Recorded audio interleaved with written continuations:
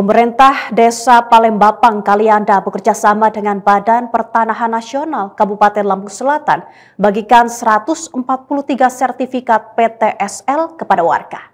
Sertifikat PTSL tersebut dibagikan kepada pemilik lahan pemukiman, perkebunan, dan persawahan yang berada di wilayah Desa Palembapang, Kalianda, Kabupaten Lampung Selatan. Diketahui sertifikat yang dibagikan merupakan pembagian tahap pertama dari total 245 kuota, sedangkan sisanya akan dibagikan pada tahap kedua.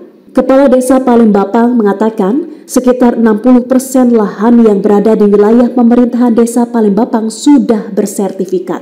Hari ini Alhamdulillah kita agenda pembagian sertifikat.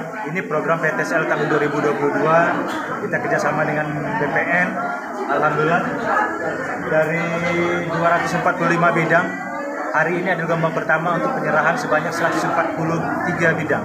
Artinya ada 102 bidang lagi yang mudah-mudahan dalam waktu dekat ini bisa kita serahkan juga kira-kira. Ini menjadi PR kita, ini baru 65% persen yang bersertifikat, artinya 35% persen belum bersertifikat. Makanya kami terus menerus dari tahun 2017, 2019, bahkan tahun 2022 kami minta juga Uh, masih besar harapannya untuk bagaimana depan tahun ini kah atau tahun depan desa Pelembapang masih bisa dilibatkan dalam pembuatan sertifikat dalam program PTSL ini.